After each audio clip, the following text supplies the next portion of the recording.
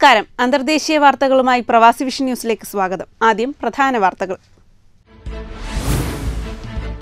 Saudi അറേബ്യയിലെ വിമാനത്താവളത്തിലും സ്വദേശിവൽക്കരണം നടപ്പിലാക്കുന്നു.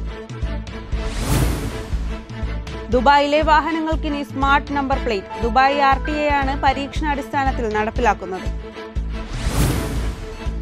ഇറ്റലിയിൽ ദാരിദ്ര്യ ഭീഷണി നേരിടുന്നവരുടെ എണ്ണം റെക്കോർഡ് ഉയർത്തി. വിശദമായ വാർത്തകളിലേക്ക് സൗദി അറേബ്യയിലെ വിമാനത്താവളങ്ങളിലും സ്വദേശിവൽക്കരണം നടപ്പിലാക്കുന്നു.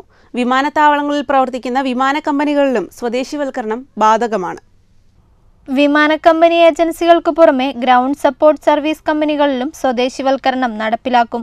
ഇതിന്റെ അടിസ്ഥാനത്തിൽ ജിദ്ദ ഇന്റർനാഷണൽ എയർപോർട്ടിൽ ജോലി ചെയ്യുന്ന ആയിരത്തി അഞ്ഞൂറ് വിദേശികൾക്ക് പകരം സ്വദേശികളെ നിയമിക്കാൻ വിമാന കമ്പനികൾക്ക് നിർദ്ദേശവും നൽകി. സ്വദേശിവൽക്കരണം നടപ്പിലാക്കാത്ത സ്ഥാപനങ്ങൾക്കെതിരെ കർശന നിയമ നടപടികൾ സ്വീകരിക്കുമെന്നും ബന്ധപ്പെട്ട അധികൃതർ മുന്നറിയിപ്പ് നൽകി. വിവിധ സർക്കാർ സ്ഥാപനങ്ങളുടെ സഹകരണത്തോടെ എയർപോർട്ടിലെ സ്ഥാപനങ്ങളിൽ ശക്തമായ പരിശോധന നടത്തും. ചില സ്ഥാപനങ്ങളിൽ മിന്നൽ പരിശോധനയും ആരംഭിച്ചിട്ടുണ്ട്. International desk Pravasi Vision News.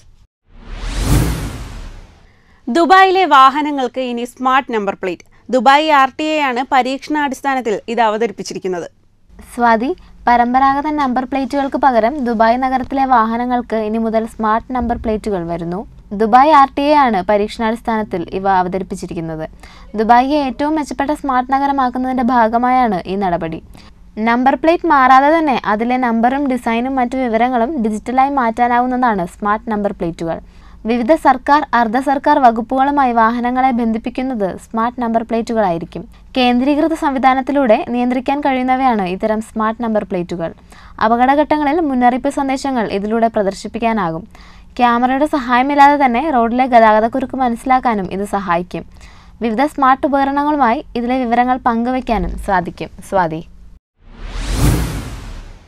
Muscat international എയർപോർട്ടിലെ ചെക്ക് ഇൻ സമയം കർശനമാക്കുന്നു. ഈ മാസം ഇരുപത് മുതലാണ് വിമാനത്താവളത്തിലെ പുതിയ ടെർമിനൽ പ്രവർത്തനം ആരംഭിക്കുക. ചെക്ക് ഇൻ സമയവുമായി ബന്ധപ്പെട്ട് വിവിധ ട്രാവൽ ഏജൻസികൾക്ക് വിമാന കമ്പനികളുടെ ബോർഡ് നിർദ്ദേശം നൽകി. യാത്രക്കാർ മൂന്ന് മണിക്കൂർ മുൻപ് നിർബന്ധമായും റിപ്പോർട്ട് ചെയ്തിരിക്കണമെന്ന് നിർദ്ദേശത്തിൽ പറയുന്നു. വിസ ക്യാൻസൽ ചെയ്യേണ്ടവർ നാല് മണിക്കൂർ മുൻപും വിമാനത്താവളത്തിലെത്തണം.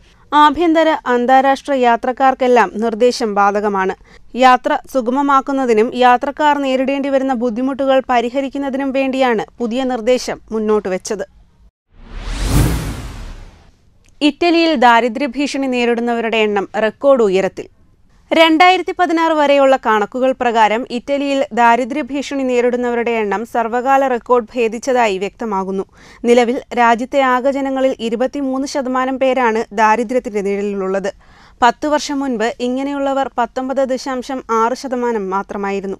നിലവിൽ കുടിയേറ്റക്കാർക്കിടയിലും രാജ്യത്തിന്റെ തെക്കൻ പ്രദേശങ്ങളിൽ താമസിക്കുന്നവർക്കിടയിലുമാണ് ദാരിദ്ര്യ സാധ്യത താരതമ്യേന അധികമായിരിക്കുന്നത്. വിദേശ കുടിയേറ്റക്കാർക്കിടയിൽ രണ്ടായിരത്തി ആറിൽ മുപ്പത്തിനാല് ശതമാനമായിരുന്ന ദാരിദ്ര്യ സാധ്യതയിൽ നിന്ന് രണ്ടായിരത്തി പതിനാറായതോടെ അൻപത്തിയഞ്ച് ശതമാനത്തിലേക്ക് കുതിച്ചുയർന്നു.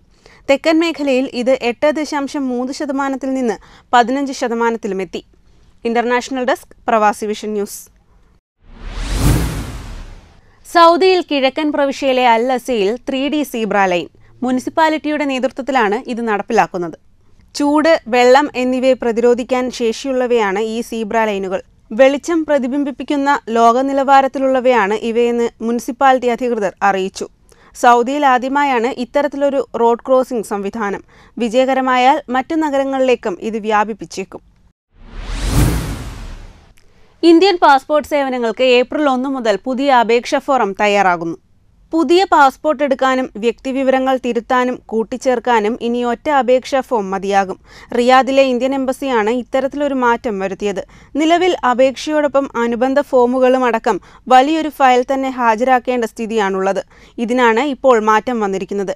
എല്ലാ സേവനങ്ങൾക്കും ഇനി ഒരു ഫോം ഉപയോഗിച്ചാൽ മതിയാകും. ഏപ്രിൽ മാസം മുതൽ പുതിയ ഫോറത്തിലുള്ള അപേക്ഷകൾ മാത്രമേ സ്വീകരിക്കുകയുള്ളൂ.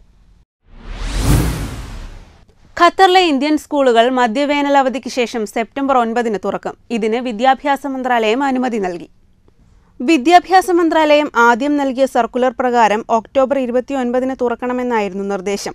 എന്നാൽ യാത്രാനിരക്ക് ഉൾപ്പെടെയുള്ള ബുദ്ധിമുട്ടുകൾ രക്ഷിതാക്കൾ അധികൃതരുടെ ശ്രദ്ധയിൽപ്പെടുത്തിയതിനെ തുടർന്നാണ് അവധിയിൽ മാറ്റം അനുവദിച്ചത്.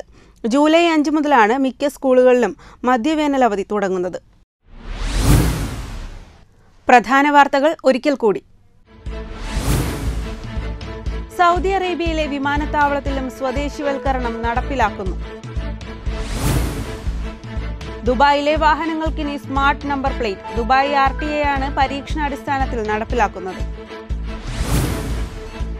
ഇറ്റലിയിൽ ദാരിദ്ര്യ ഭീഷണി നേരിടുന്നവരുടെ എണ്ണം റെക്കോർഡ് ഉയർത്തി. ഇതോടെ ഇന്നത്തെ പ്രവാസി വിഷൻ വാർത്തകൾ അവസാനിക്കുന്നു. കൂടുതൽ വാർത്തകൾക്കും വിശേഷങ്ങൾക്കും കാണുക സബ്സ്ക്രൈബ് ചെയ്യുക. W W W dot Pravasi Vision dot com സംപ്രേക്ഷണയോഗ്യമായ അന്തർദേശീയ വാർത്തകൾ നിങ്ങൾക്കും ഞങ്ങളുമായി പങ്കുവയ്ക്കാം. പങ്കുവയ്ക്കേണ്ട വിലാസം info at Pravasi Vision dot com നമസ്കാരം.